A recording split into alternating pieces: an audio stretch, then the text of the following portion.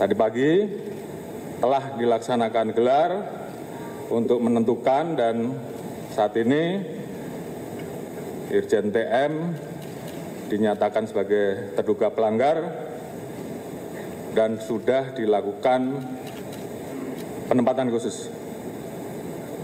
Kemudian tentunya terkait dengan hal tersebut, saya minta agar Kadif Propam segera melaksanakan pemeriksaan terkait etik untuk kemudian bisa kita proses dengan ancaman hukuman PTDH.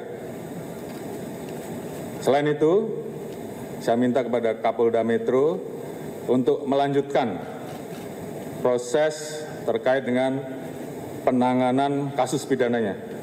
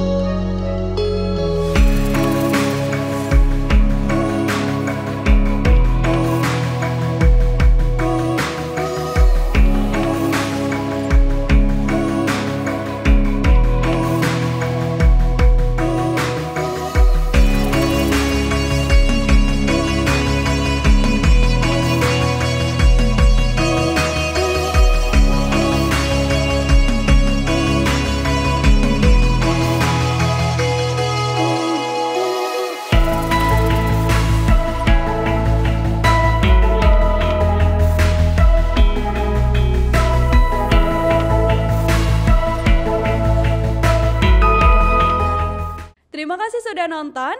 Jangan lupa like, subscribe, dan share ya.